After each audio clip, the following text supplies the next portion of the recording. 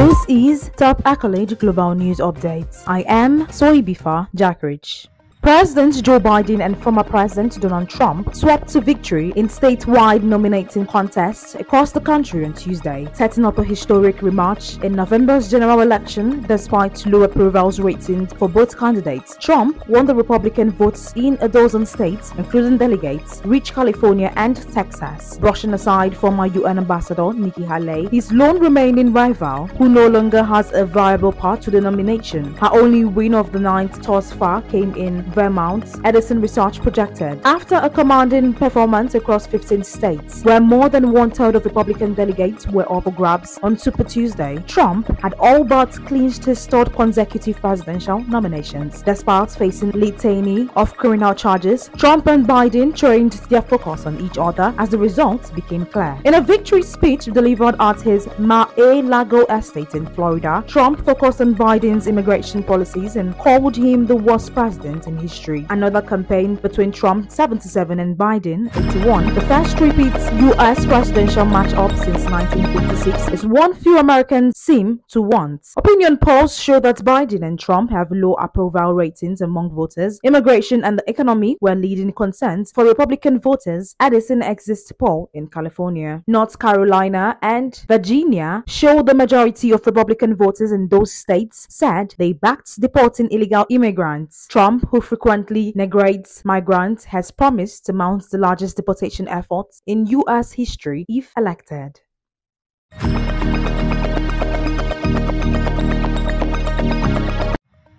The Palestinian militant group Hamas said on Wednesday it would continue working towards achieving a ceasefire in Gaza with Israel despite the absence of Israeli negotiators from the latest round of talks in Cairo. We are showing the required flexibility in order to reach a comprehensive cessation of aggression against our people, but the occupation is still evading the entitlement of this agreement, Hamas said in a statement. Negotiators from Hamas, Qatar, and Egypt, but not Israel, are in Cairo, trying to rescue a 40-day ceasefire in the war between Israel and the Islamist group in time for the Muslim fasting month of Ramadan, which begins early next week. US President Joe Biden said on Tuesday that it was in the hands of Hamas whether to accept a deal on the table for ceasefire in Gaza Strip in exchange for the release of Israeli hostages. As delegations held a third day of talks with no sign of breakthrough, the deal presented to Hamas would free some hostages captured by Palestinian militants in the October 7th on Israel, which sparked the war, while aid to Gaza would be increased to try to avert famine as hospitals treat acutely malnourished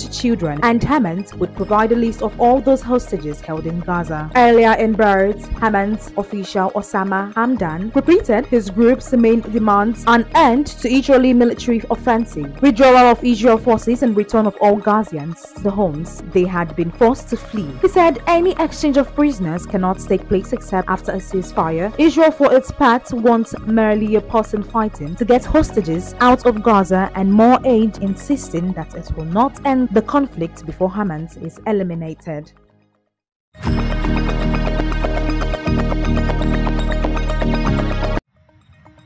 Once hurt by crisis and deflation, the euro is gaining popularity among central bank reserve managers thanks to a return to positive rates and geopolitics challenging king dollar's appeal. Roughly 1 in 5 at the 75 central bank surveyed by the London-based OMFIF think tank anticipates increasing euro holdings over the next two years. Its recently published 2023 report showed while 7% looked the decreased euro holdings, net demand was higher than for any other currency during the period and a jump from the 2021 and 2022 surveys of reserve managers controlling nearly $5 trillion. Shifts can take years to play out. The dollar, which makes up 60% of global reserves versus the euro's 20%, will not lose its crown overnight. Yet, a more positive euro outlook speaks to notable changes taking place. For starters, the European Central Bank exit from negative interest rates in 2022 drove euro area government bond yield higher after almost almost a decade below 0% and they should remain elevated even as rates cut near. Poland's central bank, whose reserves are dominated by dollar and euro denomination assets, said that while it did not comment on changes to reserve, medium-term expected returns for euro area government bonds have improved considerably, which certainly increases the appeal of the asset class.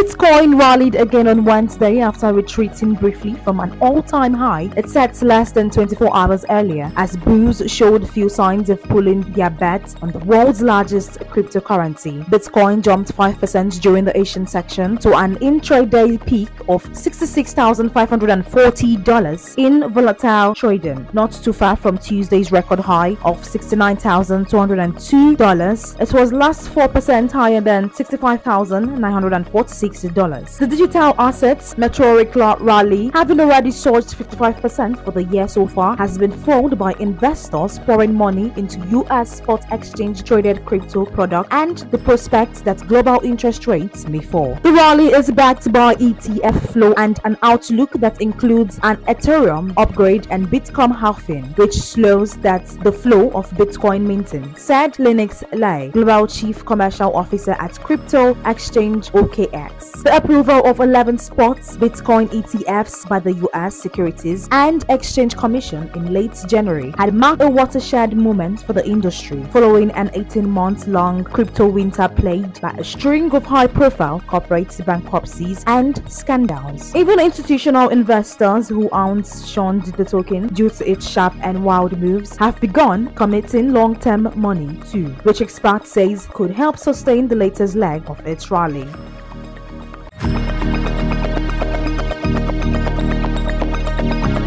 Chinese money is pouring into funds invested in offshore assets at breakneck speed, butting up against outbound investment limits and complicating Beijing's efforts to revive domestic markets and stabilize the yuan. The rush to invest offshore reflects low confidence at home and is evident in sales of funds issued under the Qualified Domestic Institutional Investor QDII program, a key outbound investment channel that allows Chinese to buy overseas securities under Beijing's strict capital control QDII fund units sold in January jumped 50% year on year to record high, while those of domestic equity mutual funds dropped 35%. Data from the Asset Management Association of China shows assets under management for QDII funds were up 19% year on year. Exchange traded funds ETFs tracked Nikkei and Nasdaq listed stocks flagged price premium REITs in recent weeks as buyers bid well above the value of underlying assets to grab a share. The outbound scramble illustrates the pressure on China's capital account and currency and the challenges in rebuilding domestic investors. Confident in their home markets, Chinese stocks are wallowing near a five-year nadir, while yields on the country's 30-year treasury bonds have plunged record lows. Managers are also struggling to keep up and are turning away prospective investors or searching for partners and other ways around limits. The QDII scheme escaped by a quarter or limits on outbound investments set by China's State Administration of Foreign Exchange.